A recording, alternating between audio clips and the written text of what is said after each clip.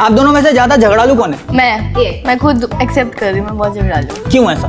कुटाई से डर नहीं लगता आपको? झगड़ा भी आप करते हो मारते भी आप हो। हाँ। मेरी सॉरी